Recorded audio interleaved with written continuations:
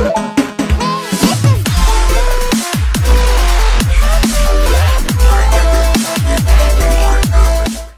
up guys, it's Toxic Girl here, and today I am going to be showing you guys some GTA 5 online wall breaches.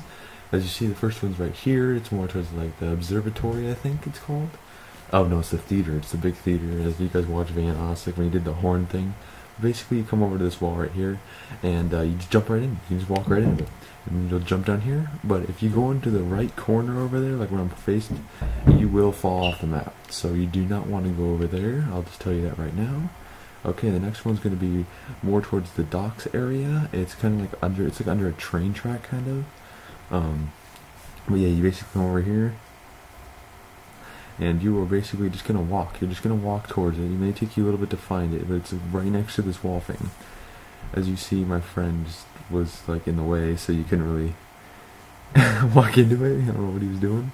But yeah, you walk right there, and basically you're in it.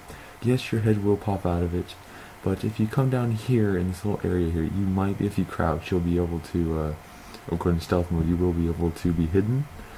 Um, that's good if you had a bounty on you. Another one is right here. It's next to what Lester's warehouse. It's not exactly the same one. It's actually different.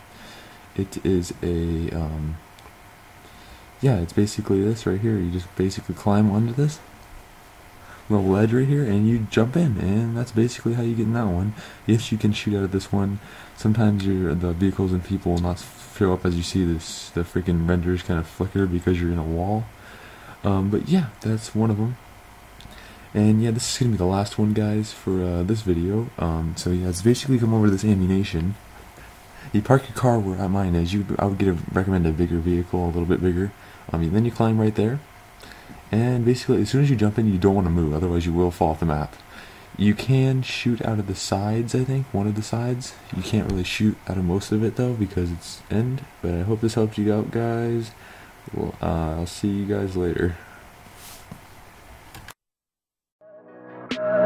Tell me pretty lies, look me in the face. Tell me that you love me